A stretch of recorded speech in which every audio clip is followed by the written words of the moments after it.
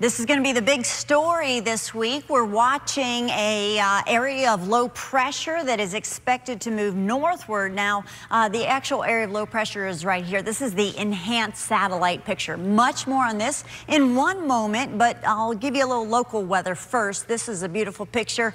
Beautiful sunset on the first day of fall here in South Florida from Deborah Harsh. And right now we are tracking some coastal showers pushing on shore. There's one uh, decent little down downpour between Port St. Lucie and Fort Pierce, just moving over Hutchinson Island. And from time to time, we are going to see these brief streamer showers push on shore. Temperatures right now, low 80s near the Palm Beach County coastline and inland, just a little bit cooler with temperatures in the upper 70s. Now, overnight, we'll continue to see these brief passing showers on the easterly breeze. And at times, we could see some heavy rain, but most of that staying offshore. And then Monday, the trend will be for limited activity and what we see uh, will be very erratic and sporadic in nature. And then Tuesday, fairly dry. But look what happens on Wednesday. We start to see our moisture increasing Wednesday morning, and it looks to continue on and off throughout the day. It's all moving in from the south,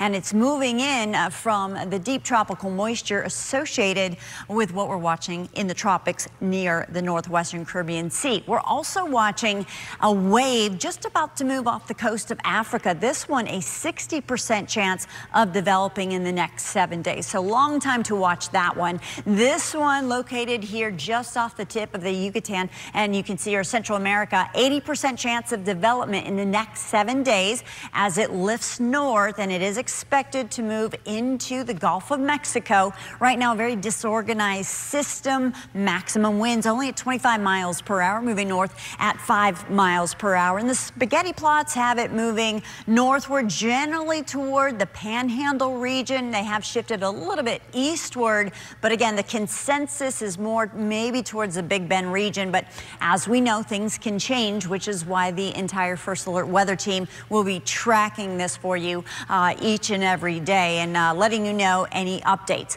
Now, notice this. This is our precipitable water map. But now, this is not rain. It just shows you where we have the deep atmospheric moisture. So this is is the moisture moving in associated with 97L, and you can see where it takes it into the Gulf, and then it moves it to the north and northeast, so a likely landfall again somewhere across the panhandle, but a lot remains to be seen. But notice we're in that deep moisture tail, so our rain chances increase toward the end of the week, and they look to stay high right through the weekend as it stands right now, but that's still seven days away. However, we are under a risk risk of excessive rainfall. Once we get into Wednesday for western Palm Beach County, then that extends into the remainder of Palm Beach County. And so our rain chance is looking to be anywhere from about two to four inches generally right now, Monday through Friday. Again, uh, we'll be updating this throughout the work week. Here's your seven day forecast. Temperatures